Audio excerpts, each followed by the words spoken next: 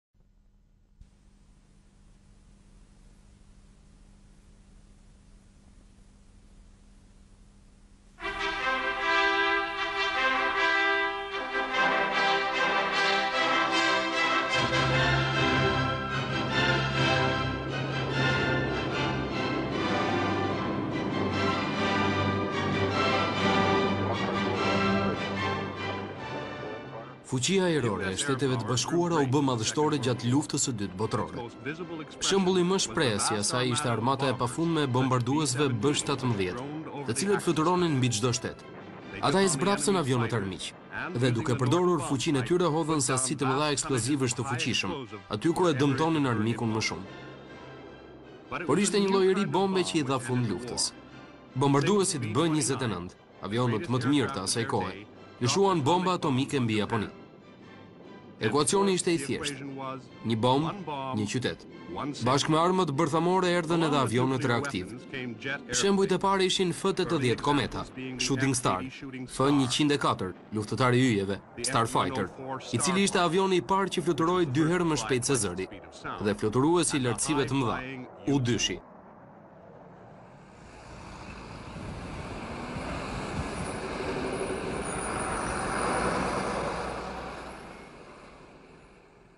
Sot Komanda Strategjike Ajrore është komanda më e madhe e forcave ajrore amerikane. Shtabi i përgjithshëm i saj gjendet në Bazën Ajrore Offutt në Nebraska.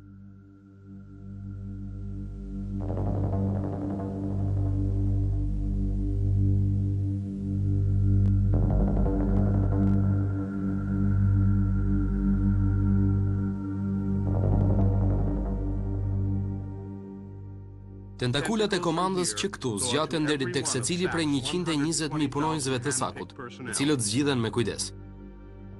Kompjuterat e fuqishëm dhe sistemet e komunikimit nuk flenë kurrë. por monitorojnë vazhdimisht vendodhjen e saktë të njëqind bombarduesve B-1B, dyqind e pesëdhjetë B pesëdhjetë e dyshave, gjashtëdhjetë FB njëqind e njëmbëdhjetave, një mijë raketave ndërkontinentale dhe gjithashtu një forcë të vogël, por në rritje raketash paqeruajtëse. Ky kapacitet luftarak është në gjendje të shkatërrojë planetin tonë, ndaj nuk ka vend për gabime. SAK-u është krenar për rekordin e tij. Disa nga avionët e SAC-ut nuk transportojnë armë, megjithatë ata janë avionët më të fuqishëm dhe më të kushtueshëm që janë ndërtuar ndonjëherë. Të instaluar brenda avionit civil Jumbo Jet, ata janë të madhërishmit E4, që peshojnë 400 ton edhe mbajnë një ekuipazh prej 60 personash. Në kohë krize, jo vetëm komandanti i SAC-ut, por edhe presidenti i Shteteve të Bashkuara të Amerikës, do të ngjitet në këtë avion. Me anë të sistemeve të mrekullueshme të komandës dhe të kontrollit, këta avionë mund të udhëheqin të gjithë forcën e armatosur amerikane, edhe nëse Uashingtoni nuk do të ekzistonte më.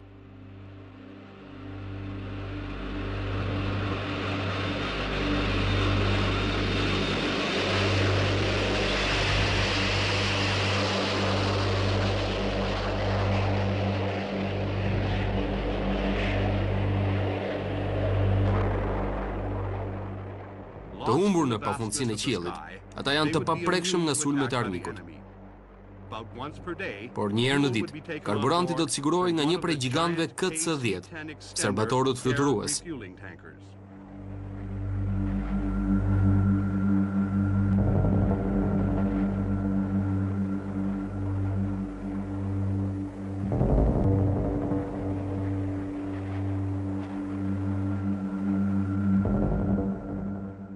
Por sigurisht që të gjithë ata që janë në bord dëshirojnë të mos marrin pjesë kurrë në misione reale dhe vdekjeprurëse. Shumë më i vogël se E katra, por pothuajse po aq i kushtueshëm Boeingu E-3A, Roja, është gardiani më i madh në botë i qiejve. Por edhe ky është i paarmatosur. Zyrtarisht quhet AWACS, ose Sistemi i Kontrollit dhe Paralajmërimit Ajror. Ngarkesa e tij kryesore është një radar i fuqishëm, i cili transmeton dhe kap sinjale përmes një antene gjigante me diametër njëmbëdhjetë metra. Antena rrotullohet mbi avion. Në bordin e tij, gjashtëmbëdhjetë deri në njëzet ekspertë merren me kompjuterat dhe ekranet e komplikuar për të kontrolluar mbikëqyrjen, drejtimin e armëve dhe funksionet e stafeve të betejës.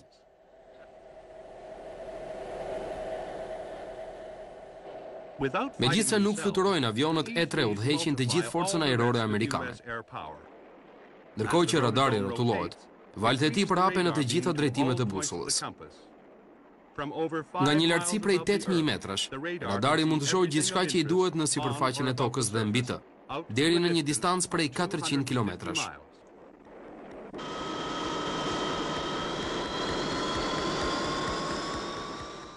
Në kontrast të plotë, avioni Lockheed SR-71, i njohur më mirë si Zogu i Zi për shkak të ngjyrës së tij, fluturon gjatë misioneve më shumë si një anije kozmike sesa një avion. Forma e tij e habitshme jo vetëm që bën të mundur të fluturojë më shpejt se tre mijë e dyqind kilometra në orë, por gjithashtu e bën të vështirë të dallohet nga radarët armiq. Çdo fluturim i tij planifikohet si një mision hapësinor. Qindra njerëz përfshihen në misionet e tij, por përpjekjet e tyre përqendrohen vetëm tek dy njerëz, piloti dhe RSO-ja, ose oficeri i sistemeve të zbulimit. Ata vishen me kostume speciale, ashtu si astronautët.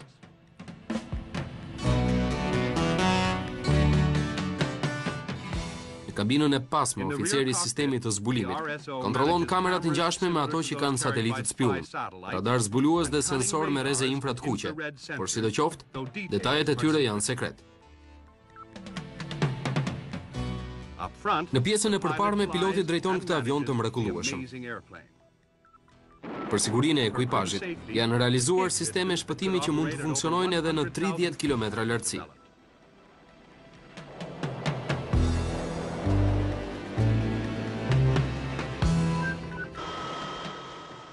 Zogu i zi është rreth 32 metra i gjatë dhe 16 metra i gjerë.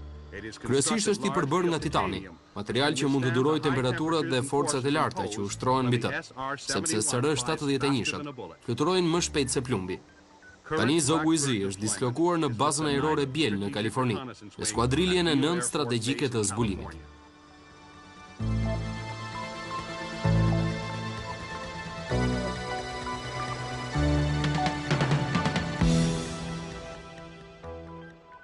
Menjëherë pasi ka futur brenda tri palët e rrotave të tij, ai bëhet avioni më i shpejtë dhe që fluturon më lart në botë. Po ashtu edhe një nga më të vështirët për t'u diktuar.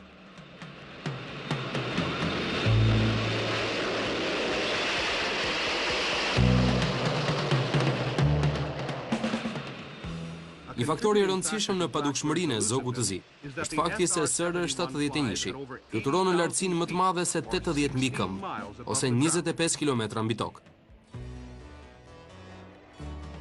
Për të arritur lartësi dhe shpejtësi të mëdha, çdo motor i tij gjeneron më shumë se pesëmbëdhjetë mijë kilogram shtytje. Kjo është një shtytje më e madhe sesa ajo e anijes transatlantike Mbretëresha Mary. Në mënyrë që të furnizohet gjatë fluturimit, SR 71-shi duhet të ngadalësojë dhe të ulet në lartësinë 10.000 metra, për t'u bashkuar me avionin çisternë. Në këtë moment, avioni i zi misterioz, furnizohet me karburantin e tij special JP 7, nga një avion çisternë KC 10.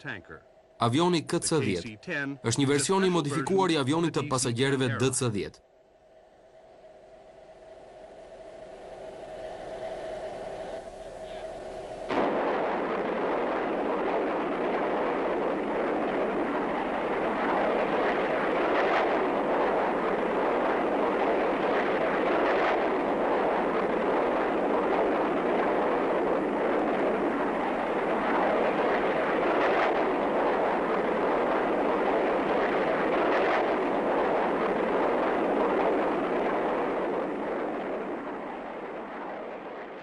Në një formacion shumë të rrallë, SR 71-shi shoqërohet nga një avion TR-1, versioni më i fundit i avionit spiun U-2.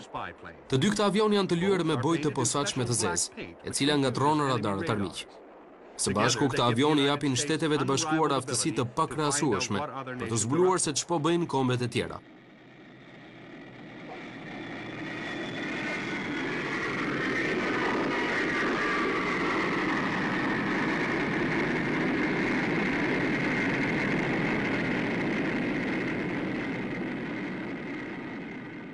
Jo të gjithë avionët e SAC-ut janë të paarmatosur. Avioni Boeing B pesëdhjetë e dy, mbase bombarduesi më i mirë në botë, fluturoi për herë të parë në vitin një mijë e nëntëqind e pesëdhjetë e dy. Shumë nga këta avionë janë më të vjetër se pilotët e tyre.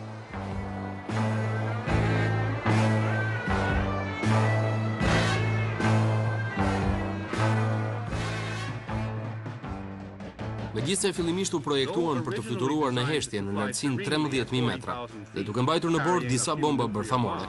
Këta B-52D u rinovuan për të fluturuar në lartësi të ulëta dhe duke mbajtur 40 tonelata bomba të zakonshme HE.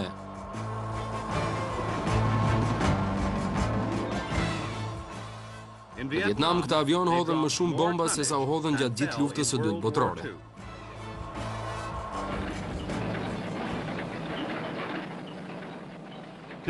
Sot janë në shërbim vetëm versionet më të fundit të avionëve B-52. Këta janë versionet G dhe H. Një armë jetësore që ata mbajnë sot është ALCM-ja, ose raketat kruiz që lëshohen nga ajri. Në bazën e bombarduesve, një kamion special ngarkon në avion tri raketa ALCM.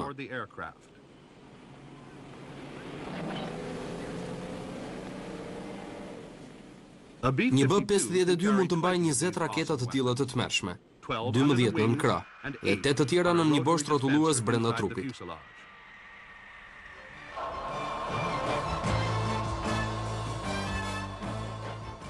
Pasi lëshohet nga bombarduesi, raketa ALCM hap krahët. Motori reaktiv i saj ndizet dhe raketa shndërrohet në një avion në miniaturë. Ajo është mbi 6 metra e gjatë dhe fluturon me shpejtësinë e avionëve reaktivë. Një raketë e vetme ALCM është e armatosur me një mbushje të fuqishme bërthamore W80. Ajo mund të fluturojë në një distancë më të largët se tetëqind kilometra dhe të transportojë ngarkesën e saj shkatërrimtare me saktësi të habitshme tek objektivi i zgjedhur.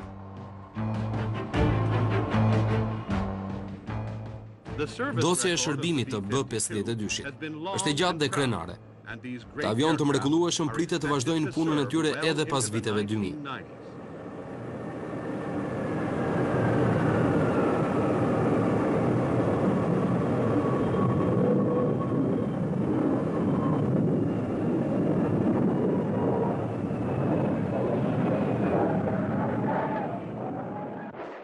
Askush nuk priste që B-52-shi të vazhdonte shërbimin e tij për kaq shumë kohë. Por më në fund, një bombardues i ri hyri në shërbim të SAK-ut, për të shtuar numrin e avionëve dhe për të zvendësuar luftëtarin e vjetër. Avioni B-1B i firmës Rockwell ka 4 motorë, sa gjysma e atyre të B-52-shit, por dy herë më të fuqishëm. Nga pikëpamja aerodinamike, B-1B-ja është tepër ndryshe. Ai ka krahë të lëvizshëm, të cilët mund të shtrihen maksimalisht për ngritjet dhe uljet, ose të mbyllen pas për fluturime me shpejtësi supersonike. Ky avion fluturon me shpejtësi minimale supersonike në rrugën e gjatë drejt objektivit, ndërsa shpejtësia maksimale nën shpejtësinë e zërit përdoret gjatë afrimit final dhe lëshimit të armatimit mbi objektiv.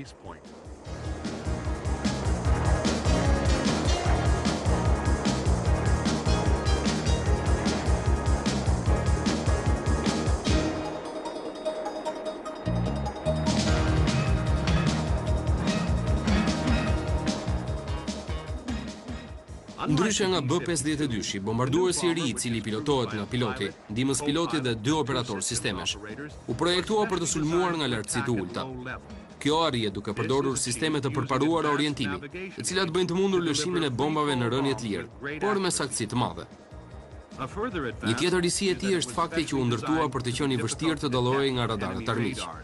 Gjurma e tij në radar është vetëm sa një e njëqinta e një B pesëdhjetë e dy-shi. Por sidoqoftë ai nuk është një avion i pakapshëm nga radari. Tashmë shoqëria Northrop po projekton një bombardues të ri për përdorim pas viteve nëntëdhjetë, kur për avionin B-1B do të vijnë kohë të vështira. Por tani njëqind avionët B-1B të cilët hynë në shërbim të SAK-ut në vitin një mijë e nëntëqind e tetëdhjetë e pesë, formojnë forcën më të madhe bombarduese në distancë të largët në të gjithë botën. Sot Forca Ajrore Amerikane po sheh drejt hapësirës. Iniciativa strategjike mbrojtëse e ideuar nga Presidenti Reagan nuk është realizuar ende plotësisht. Por për shumë vjet kjo bazë e sigurt brenda malit Cheyenne në Kolorado ka qenë qendra operacionale e luftimit të NORAD.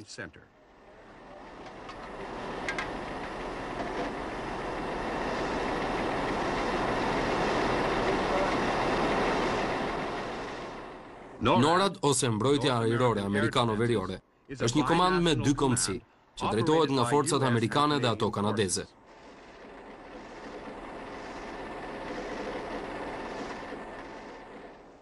Baza e malit Shejen gjurmon disa qindra satelitë që janë në orbitë mbi tokë. Shumica e tyre janë satelitë ushtarakë sovjetikë. Totali i objekteve në orbitë është 5.800 për momentin.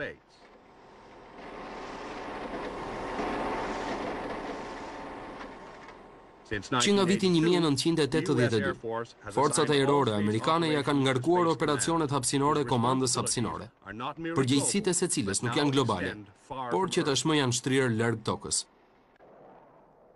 Komanda hapësinore operon njëzet e tre njësi hapësinore mbikëqyrjeje të vendosura në të gjithë botën. Tre më të mëdhat janë në Alaskë, Groenland dhe Angli. Ato quhen sistemet paralajmëruese nga raketat balistike. Këto stacione monitorojnë hapësirën kozmike për të zbuluar çdo sulm mbi Amerikën e Veriut apo Britaninë e Madhe.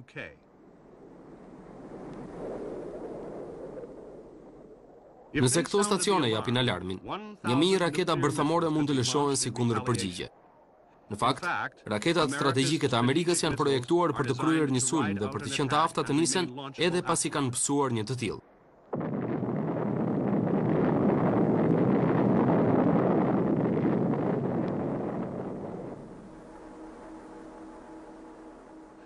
Gjeografikisht komanda më e madhe e forcave amerikane është Pakafi, ose Forcat Ajrore të Paqësorit. Ato mbulojnë një të tretën e botës, nga Hawaii deri në Azi. Operacionet tipike të kësaj komande janë si ky që po zhvillohet në bazën ajrore Kunsan në Korenë e Jugut. Ky avion F-katër-D Fantom me dy pilotë po ngarkohet me bomba Mark tetëdhjetë e dy dhe bomba inteligjente të drejtuara me lazer GBU dhjetë. Këta avionë gjithashtu kanë edhe pajisje elektronike që mposhtin radarët armiq.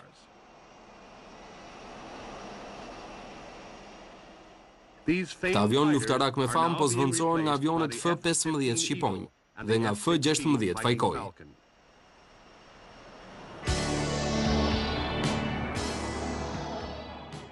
Avioni A dhjetë A Rrufeja dy i kompanisë Fairchild është një zog me pamje të çuditshme, shpesh quhet bufi, por gjithnjë trajtohet me respekt.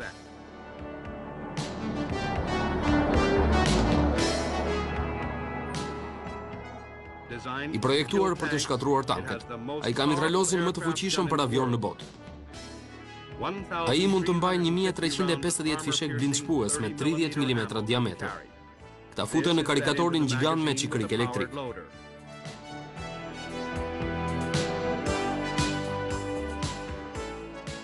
Avioni A10 mund të mbajë gjithashtu edhe raketa 2.75-she, të cilat futen në platformat poshtë krahëve.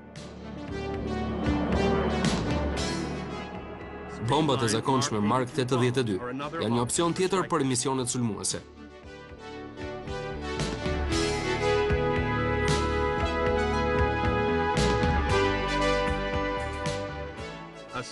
Me një pilot avioni A10 ka dy motorë turbo me elikë në pjesën e pasme.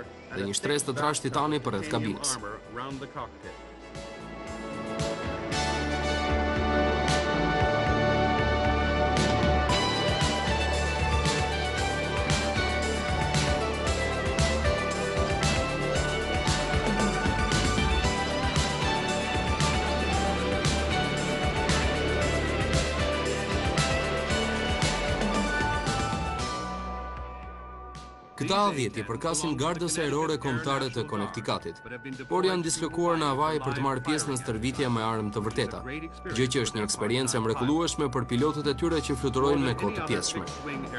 Më shumë se çdo avion tjetër me krahë të palëvizshëm, A-dhjetat fluturojnë shumë ulët në operacione të vërteta, sepse vetëm kështu mund të mbijetojnë në fushën e betejës.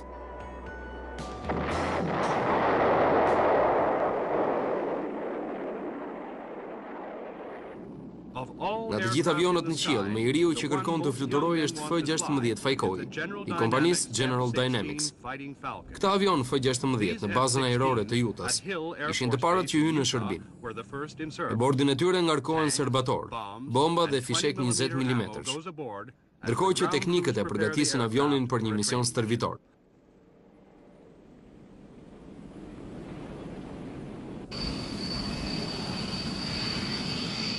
Fajkonjtë, të cilët i përkasin skuadriljes taktike 328, kryesisht kryejnë misionet e vështira stërvitore, për të mësuar pilotëve se si të godasin objektivat në tokë dhe si të rrëzojnë avionët armiq. Kur F-gjashtëmbëdhjeta u projektua fillimisht, Shumë dyshuan se ai nuk do të ishte në gjendje të bënte një punë të dobishme. Ai ka të njëjtin motor si vëllai i tij i madh, F-pesëmbëdhjetë, por vetëm një të tillë dhe jo dy.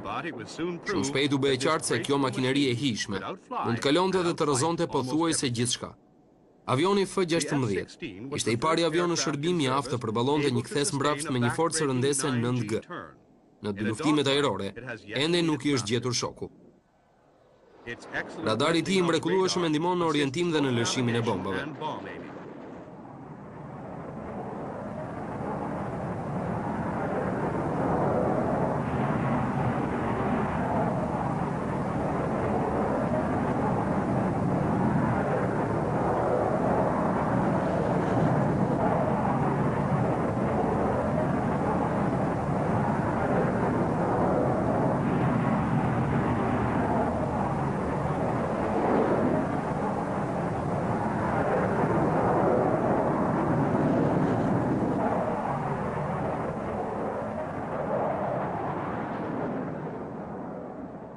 Në dyluftimet ajrore, radari mund të shënjestrojë raketat e krahëve për distanca të shkurtra mbi objektiv. Armët ajër-tokë, si bombat Cluster, Mund të peshojnë deri në gjashtë tonë, por megjithatë F gjashtëmbëdhjetë A është avioni më i zhdërvjellët në qiell.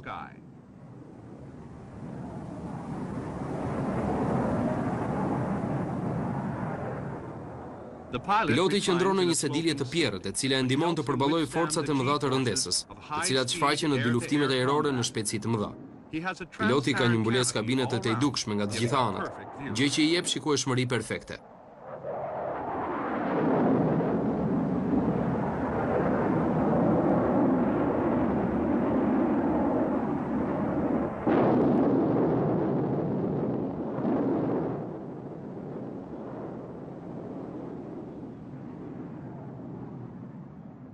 Pas fluturimit të tij të parë, një pilot tha se ishte sikur të drejtoje një shtyllë telegrafi me një motor reaktiv. USAFE ose Forcat Ajrore Amerikane në Europë, përbëjnë Forcën Ajrore të Përhershme Amerikane në anën lindore të Atlantikut, në mënyrë që të respektojnë angazhimin Amerikan në NATO. Avionët e saj në Europë përfshijnë F-15 dhe F-16. Në rast lufte, përforcime të konsiderueshme ajrore do të kapërcenin Atlantikun.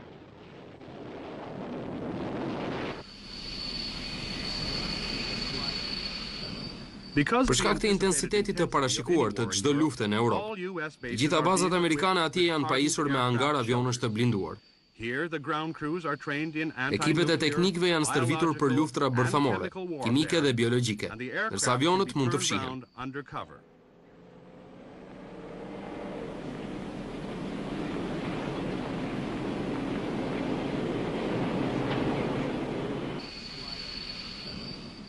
Hangaret e blinduar të avionëve në Lakenheath në Angli shërbejnë edhe si strehim për avionin F-njëmbëdhjetë F. Aardvark dhe General Dynamics.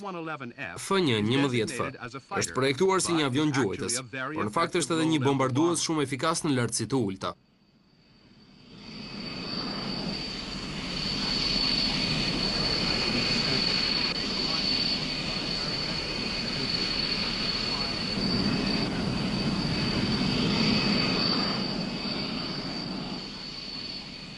Avioni F-njëqind e njëmbëdhjetë F mund të mbajë deri në dymbëdhjetë tonë bomba. Këta ishin avionët e parë me krah konik të lëvizshëm, ideuar për ngarkesa të mëdha dhe për fluturime supersonike.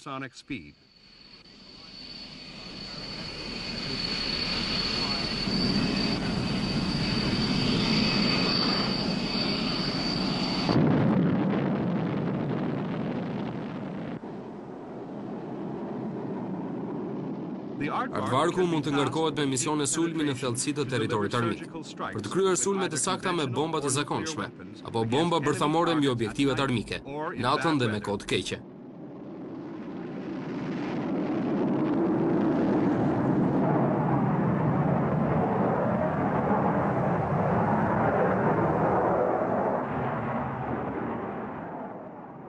Ekuipazhi i përbërë nga dy persona ulen pranë njëri-tjetrit dhe atyre u duhen nerva të forta për të fluturuar pothuajse me shpejtësinë e zërit dhe vetëm pak metra mbi tokë. Kjo bëhet edhe kur ka mjegull të trashë apo në terrene malore. Fatkeqësisht, kjo është e vetmja mënyrë për të goditur objektivin dhe për të mbijetuar më pas.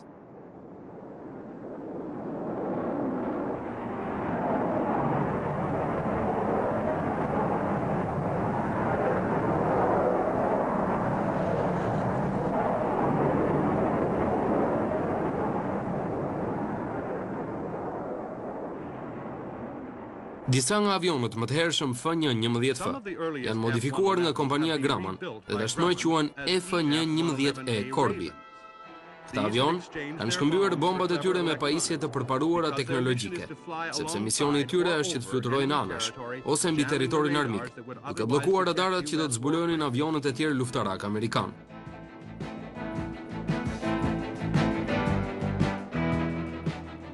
F-111E Korbi ka aparate të ndjeshme marrëse, të cilat janë gjithnjë në kërkim të sistemeve mbrojtëse të armikut. Nëse gjendet një radar i ri ai identifikohet, analizohet dhe bllokohet automatikisht, ndërkohë që vazhdon edhe bllokimi i atyre të gjetur më parë.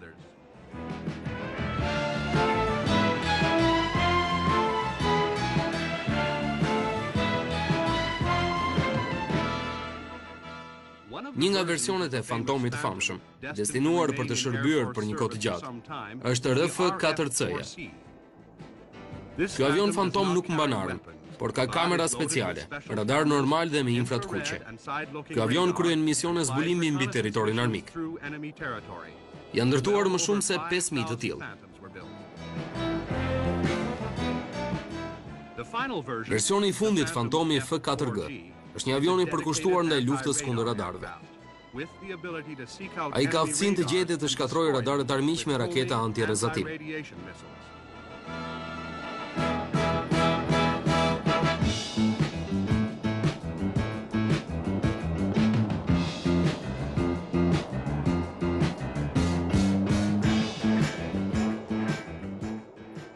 Avioni i vogël i Northropit, F-5E, Tigri-2, Nuk ka ngjashmëri me avionët e tjerë amerikanë. Por sidoqoftë, jeta e tij janë dyluftimet ajrore të pafundme. I lyer për t'u dukur si avionët e Bashkimit Sovjetik dhe i vendeve të tjera armike, ata shërbejnë si avion agresor në rolin e armikut. Pilotuar nga instruktorët më të mirë të fluturimit në botë, detyra e tyre është që të shndrojnë pilotët e zakonshëm në pilotë të pamposhtur të dyluftimeve ajrore.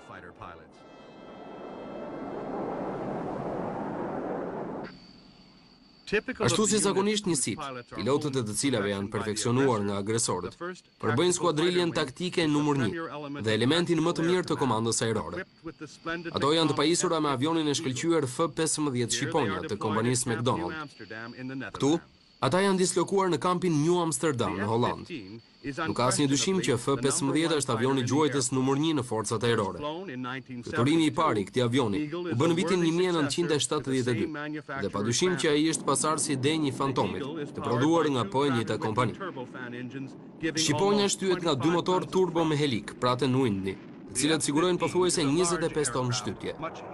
F pesëmbëdhjetë është një avion i madh, shumë më i rëndë se sa bombarduesi B shtatëmbëdhjetë i Luftës së Dytë Botërore.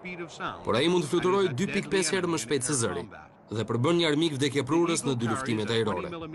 Shqiponja ka një mitraloz njëzet milimetrash, katër raketa Sparrow të drejtuara nga radari dhe padyshim katër raketa anësore me rreze infra të kuqe për dyluftimet ajrore. Duke përdorur radarin e tij superior, piloti i F-pesëmbëdhjetës e gjen armikun shumë lehtë, e fut në objektiv dhe lëshon një raketë.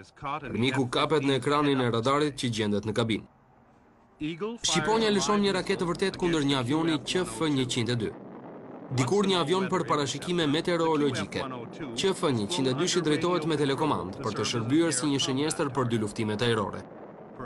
Mbase kjo është një mënyrë më e mirë për të vdekur sesa në një varrezë avionësh. Sot kompania McDonald po ndërton një lloj të ri F-pesëmbëdhjetë. Ai është avioni F-pesëmbëdhjetë E. Kjo shqiponjë mund të lëshojë dymbëdhjetë ton bomba dhe mund të armatoset edhe me bomba cluster.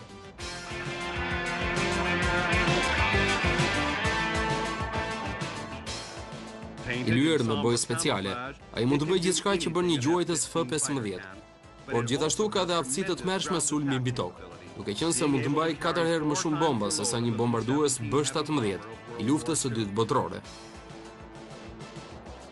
Gjithashtu mund të mbajë më shumë karburant sesa gjashtë avionë reaktivë të Brezit të Parë. Për të fluturuar më gjatë, Ai mund të pozicionohet prapa një cisterne fluturuese KC dhjetë dhe të marrë aq karburant sa i duhet për të përfunduar misionin. Ky avion i mrekullueshëm ka të gjitha aftësitë manovruese në fluturim për të cilat u projektua, në mënyrë që të jetë gjithnjë fitimtar në dyluftimet ajrore.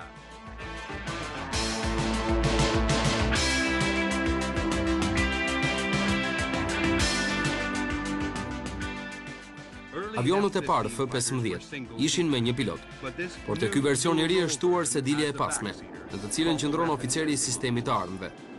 Mbase dy mendje janë më mirë sesa një. Avionët shumë më të mëdhenj i gjejmë tek Maku, ose komanda ushtarake e transportuesve të forcave ajrore. Maku është një organizatë e madhe me përgjegjësi në të gjithë botën, dhe avioni që përdoret më shumë këtu është i kudondodhuri C-130, Herkuli, i firmës Lockheed, i cili fluturoi për herë të parë në vitin një mijë e nëntëqind e pesëdhjetë e katër dhe që prodhohet ende sot. Ky avion mund të transportojë gjithçka dhe kudo, që nga tanket deri tek njëzet tonelata oriz si ndihmë humanitare.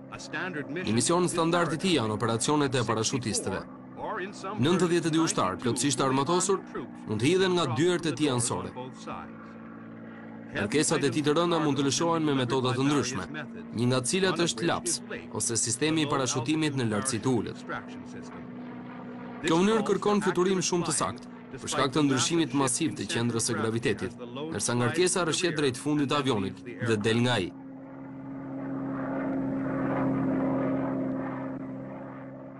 C njëqind e tridhjeta mund të kryejë edhe shumë operacione sekrete, si transportimi i forcave speciale apo i Navy Seals-ave.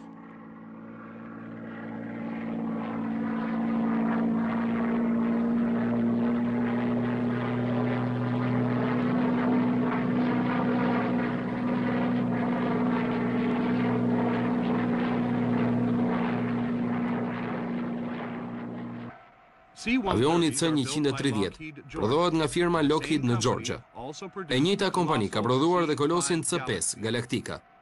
Si zakonisht, pjesa e pasme e këtij avioni hapet për të ngarkuar apo për të lëshuar nga lartësi të mëdha ngarkesa. Por edhe turiri i tij hapet. Krahët hidraulike ulin me ngadalë derën gjashtë metra të gjerë, përmes së cilës mund të futen ngarkesat.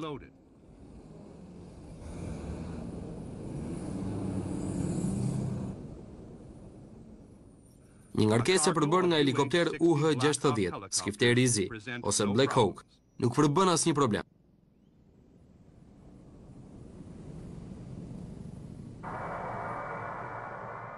Mendja e njeriut tronditet nga statistikat e këtyre gjigantëve. të cilët mund të mbajnë deri në njëqind e gjashtëdhjetë tonë karburant dhe njëqind e tridhjetë tonë materiale të çfarëdoshme, të cilat mund t'i duhen komandantit në fushën e betejës.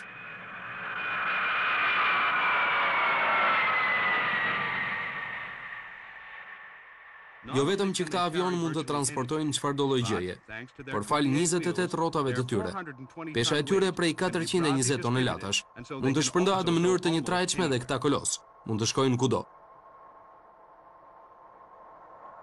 Në fillim u lyen me ngjyrë të bardhë, por tashmë galaktikat janë maskuar dhe kjo i bën të duken edhe më të mëdhenj. Pothuajse 80 metra të gjatë, këta përbindësha janë arma fituese e makut. Përveç avionit E-katër, i cili bazohet tek Jumbo Jet, Galaktika është i vetmi avion në radhët e forcave amerikane, që e bën cisternën KC-10 të duket e vogël. Testet e para të furnizimit në ajër, treguan dobinë e përforcimeve të shpejta nga ajri në distanca të gjata. Edhe me ngarkesa maksimale, një avion Galaktika mund të fluturojë mbi 5.400 km, pa qenë nevoja të furnizohet në ajër. Sot të dy këta avionë janë lyer me ngjyrat gri dhe jeshile dhe njihen me emrin Euro një ose kamuflazhi i parë europian.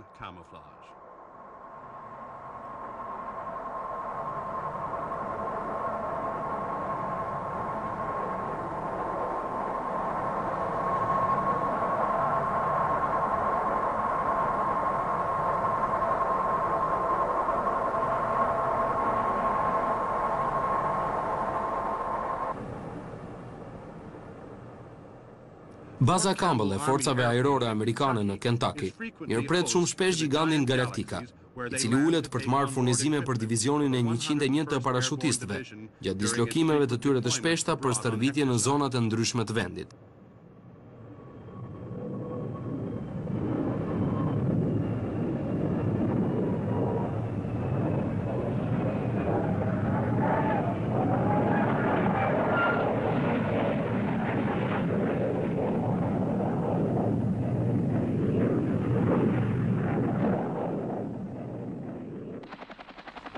Numri i helikopterëve të ushtrisë amerikane shpesh konsiderohet si forca ajrore e tretë në botë. Në fakt, një tip i caktuar helikopteri, UH një shi i firmës Bell, është prodhuar në numër më të madh se çdo lloj tjetër mjeti fluturues që nga Lufta e Dytë Botërore. Zyrtarisht ai njihet si një Iroquois, por për ushtarët amerikanë ai është Huey. Një emër i çuditshëm që vjen nga sigla e tij, UH-një. Ky helikopter që fluturoi për herë të parë në vitin një mijë e nëntëqind e pesëdhjetë e gjashtë, vazhdon të shërbejë në numër të madh si transportuesi taktik ajror standard. Huey mund të transportojë skuadra të përbëra nga katërmbëdhjetë ushtarë dhe në rolin e furnizuesit, mund të ngrerë deri në një mijë kilogramë materiale. Megjithëse versione të ndryshme të këtyre makinerive shërbejnë në të gjitha degët e forcave ushtarake amerikane, shumica e tyre kanë ngjyrën e këmbësorisë dhe e kalojnë jetën e tyre duke fluturuar fare pranë forcave tokësore armike.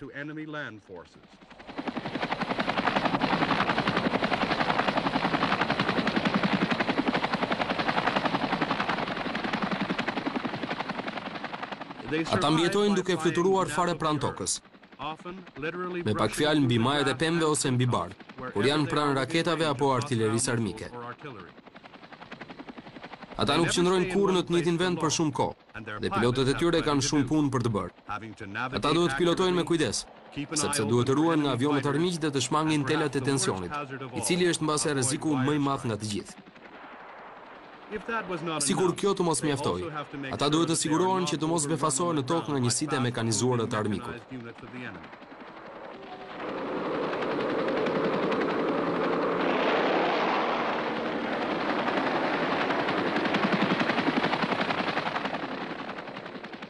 Huey-t prodhohen nga kompania e helikopterëve Bell. E njëjta kompani teksane ka prodhuar dhe sasi të mëdha të helikopterit më të vogël, OH pesëdhjetë e tetë, Kiowa. Edhe kjo makineri e hijshme përdoret nga këmbësoria, nga marina dhe nga marinsat, por edhe këtë herë, klienti kryesor ishte këmbësoria. Këmbësoria e përdor OH pesëdhjetë e tetën si platformën e saj kryesore të zbulimit në fushën e betejës. Megjithëse mund të transportojë pesë deri në gjashtë pasagjerë, zakonisht në bordin e Kiowas gjenden vetëm dy njerëz. Një prej tyre mund të jetë një kolonel ose një gjeneral, i cili mezi pret të shohë se ç'po ndodh në fushën e betejës. Kjo sërish përkthehet fluturim pranë tokës, prandaj Kiowa-t e ushtrisë janë të pajisura me prerëse telash. Disa janë përmirësuar me sensorë për të parë natën. ose në mot keq.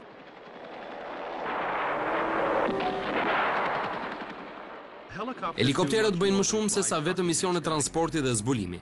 Këta helikopterë të fortë mund të eliminojnë një divizion të mjeteve të koracuara. Ata janë Kobrat, ose gjarprinjtë. Zyrtarisht njihen si AH-1G, Huey Cobra, sërish një prodhim i kompanisë Bell.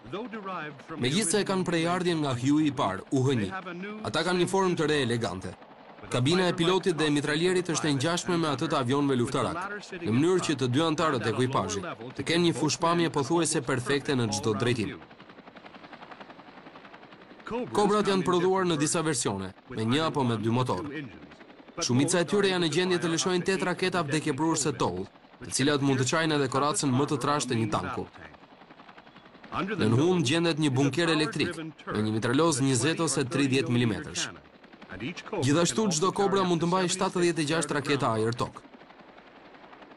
Kur tanket armike shfaqen, Cobra-t dalin nga skutat për pak sekonda, sa për të lëshuar një raketë TOW dhe për ta drejtuar tek objektivi i saj.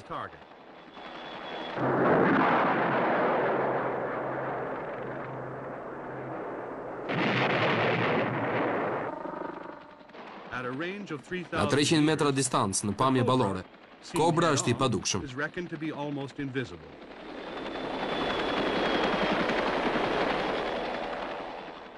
Pasi ka lëshuar të gjitha raketat, Kobra fshihet pas mbulesave natyrore dhe zhvendoset në një vend tjetër.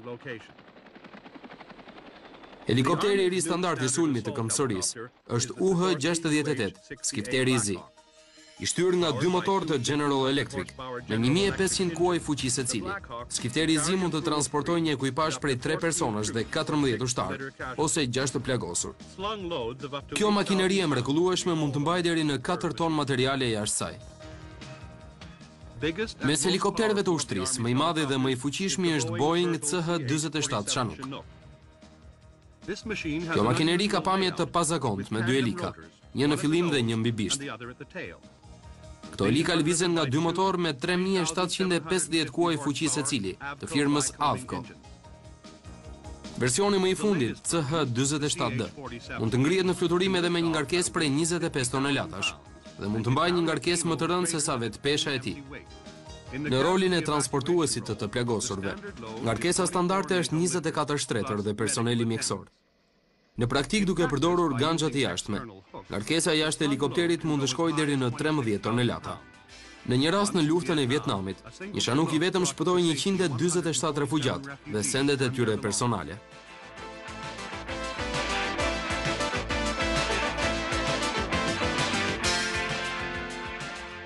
Helikopteri shanuk mund të transportojë gjithashtu furnizime jetësore si ushqimet dhe karburanti në kontenerë plastik. Gjithashtu për zhdërvjellësi taktike, bateritë e artilerisë dhe municionet e tyre mund të zhvendosen përgjatë fushës së betejës.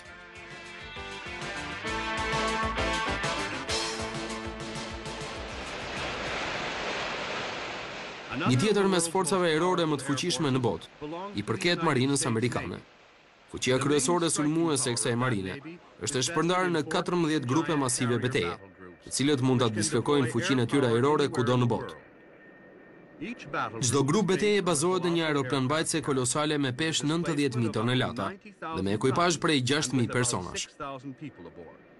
Ato janë baza ajrore gjigande, pajisura me gjithçka që duhet për të mbështetur çdo lloj operacioni ajror dhe të afta për të lëvizur tetëqind kilometra në ditë.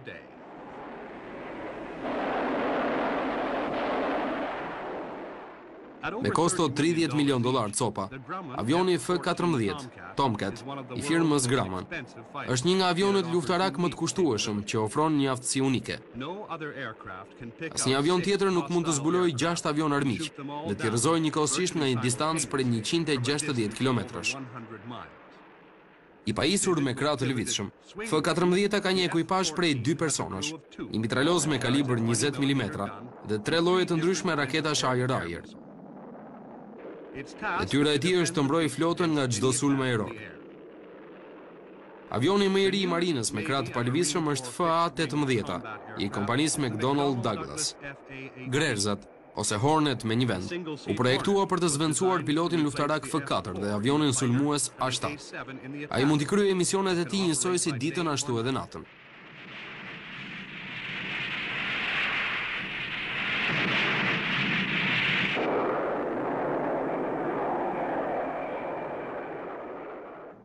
Homologu i AWACS që përdor Marina është avioni E-2C, syskifteri i kompanisë Grumman.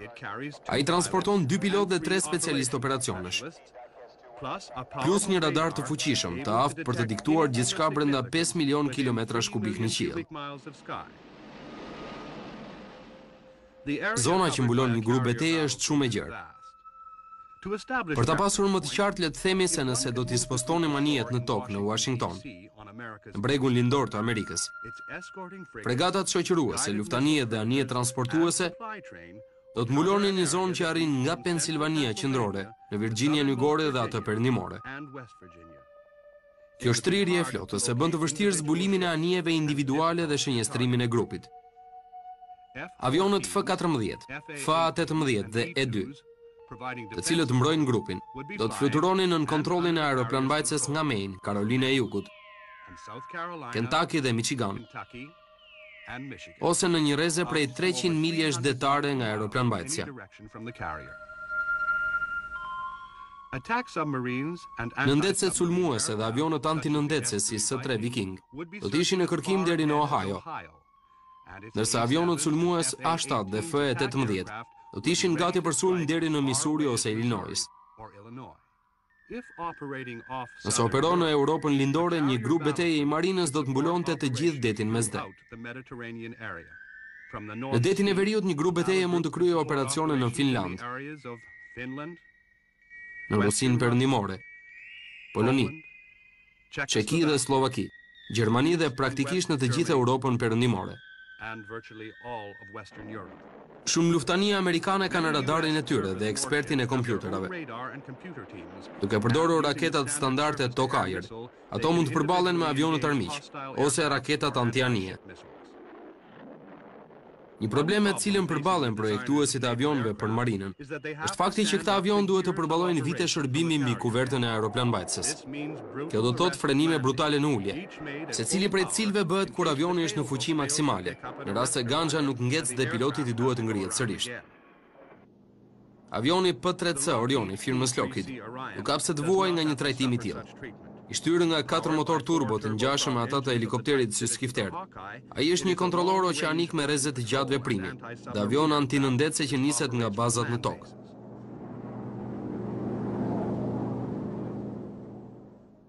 Në të ka gjithashtu edhe një zonë çlodhjeje tipike për këtë avion. i cili ka një ekuipazh prej pesë personash dhe pesë oficerë pajisjesh, të cilët punojnë në një kabinë të rehatshme dhe të ngrohtë në qendër të trupit të avionit. Orioni mund të fluturojë deri në 2400 kilometra distancë edhe më pas të bëjë edhe 3 orë patrullim në lartësi të ulët, përpara se të kthehet në bazë.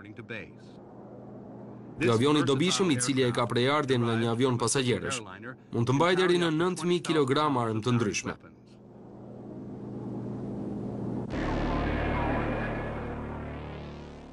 Helikopteri SH-2, mbreti i detit, i firmës Sikorski, ngrihet me një ashensor anësor deri në kuvertën e aeroplanmbajtëses. Pasi hap elikat, ai niset për një mision antinëndetse, duke marrë me vete sensorë që zbulojnë nëndetëset dhe dy silurë M dyzet e katër ose M dyzet e gjashtë. Sonari i varur përdoret për të gjetur nëndetëset armike.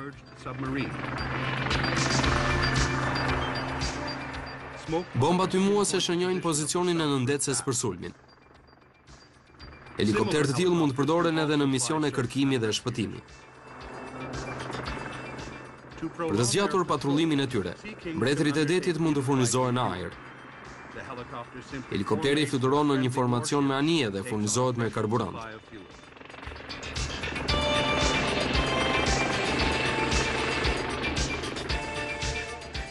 Brezit të ri të helikopterëve të detit të marinës i është shtuar dhe SH-60B, mbreti i detit, sërisht prodhim i Sikorskit.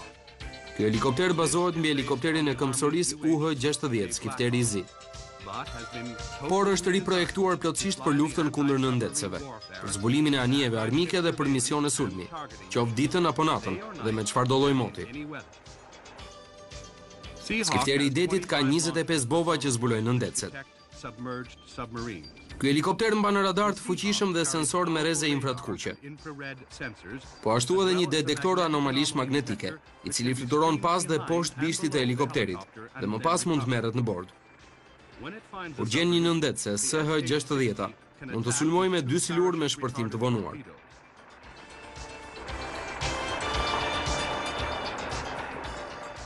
Janë bërë teste gjatë të cilave janë lëshuar të 25 bovat zbuluese.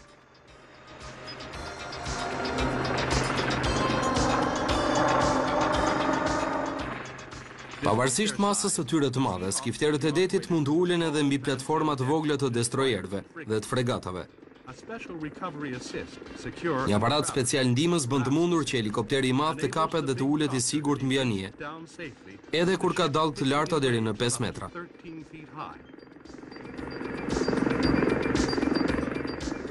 Helikopteri më i madh dhe më i fuqishëm i Marinës është MH-53 E Sea Dragon, një model special i modifikuar i helikopterëve të sulmit dhe transportit të prodhuar fillimisht për trupat e Marinësve. I shtyrë nga tre motorë, secili me 4.380 kuaj fuqi, Dragoi është një xhenier minash detare që operon jashtë rrezes së tyre vdekjeprurëse. Ai mban shumë karburant me vete, sasi kjo që shtohet edhe nga serbatorët anësorë që kanë edhe dymbëdhjetë mijë litra shtesë. Dragoi ka aftësi të përdorë çdo lloj pajisjeje kundër minave. Saja e madhe antiminë jo vetëm që duhet tërhequr mbi sipërfaqen e detit, por edhe duhet ushqyer me elektricitet. Helikopteri gjigant në operacione të tilla përdor zakonisht një sajë magnetike M njëqind e gjashtëdhjetë e gjashtë. Mes shumë detyrave të tjera saja mund të shpërthejë edhe minat magnetike. Çdo mision i tillë mund të zgjasë deri në katër orë.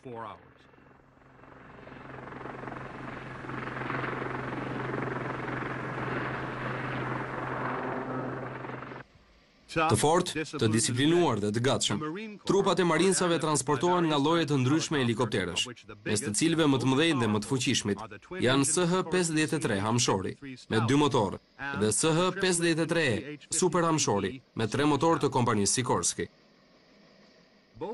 Të dy këta tipe mund të ngrenë në fluturim pesëdhjetë e pesë ushtarë të armatosur, ose të transportojnë artileri, makina, municione dhe pajisje teknike që nevojiten gjatë operacioneve amfibe, si një sulm kundër një plazhi armik kudo në botë.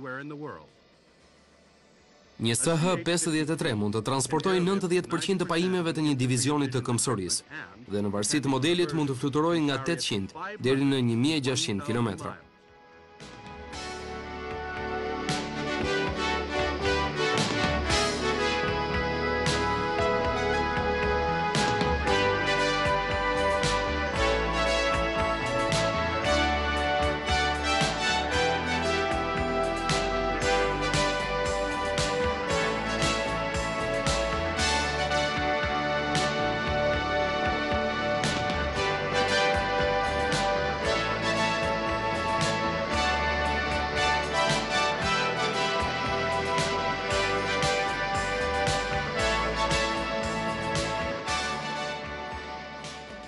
Elikat dhe bishti gjigant palosen në mënyrë që helikopteri të futet edhe brenda anijeve.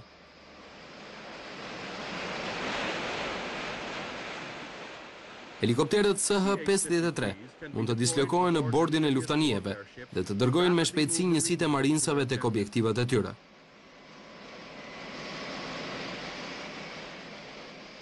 Helikopterët janë të pajisur me tub furnizimi me karburant, me anë të cilit mund të furnizohen nga avionët cisternë KC njëqind e tridhjetë Herkul të Marinës.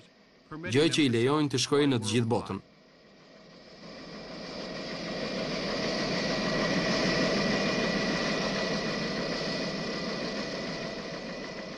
Helikopterët e marinsave CH-53, të cilët mund të mbajnë mjete të koracuara duke u furnizuar në ajër, tashmë mund ta befasojnë armikun duke lëshuar tanket në fushën e betejës, për të ndihmuar këmbësorinë në fazat e para të sulmit.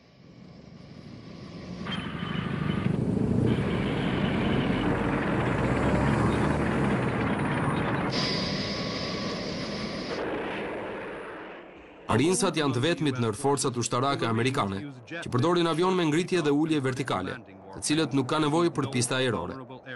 Në vitin 1969, trupa e Marinësave përdorën avionin britanik Harrier, si një avion sulmi dhe dyluftimi.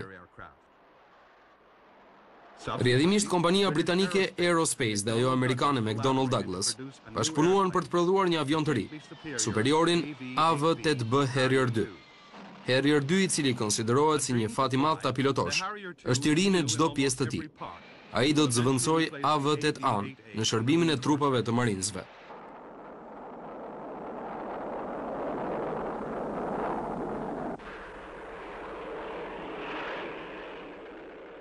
Ky avion ka një kabinë për një person, të kopjuar mjaft nga grerëza. Në të mbizotërojnë pajisjet e përparuara elektronike. Për sulmet mbi tokë, Harrier-i mund të përdorë bombat sy gjarpëri me shpërthim të vonuar. Nëse do të ishte e nevojshme, AV-8-a mund të ngrihet në fluturimin vertikal, edhe nga një zonë e vogël në pyll ku janë prerë pemët. Por kur është në ajër, ai fluturon dhe sulmon me shpejtësinë e një avioni reaktiv. Ngarkesat e jashtme të armatimeve mund të peshojnë tre mijë e pesëqind kilogramë për një ngritje vertikale, ose tetë mijë e pesëqind kilogramë për një ngritje normale në pistë.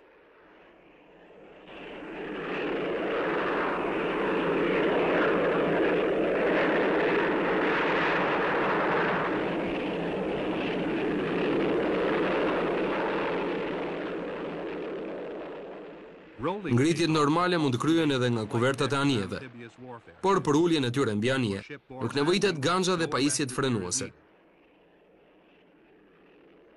Gjatë luftës për ishujt Falkland, britanikët treguan se avionët reaktivë me motorin unik Pegasus dhe me shtytësit e tij vertikalë mund të kryejnë misione luftimi edhe kur të gjithë avionët e tjerë nuk ngrihen dot në fluturim prej motit të keq.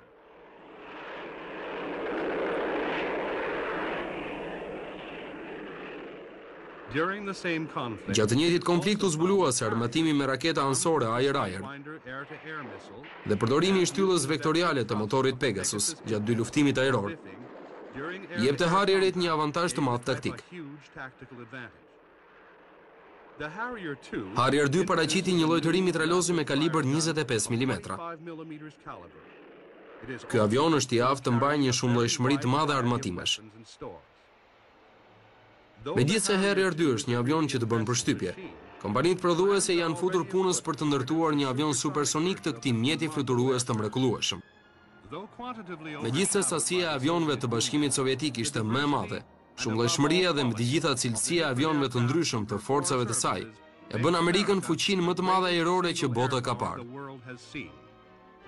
Përparimet e ardhshme në projekte, armë dhe elektronikë, po bëhen për ta mbajtur në këtë pozicion.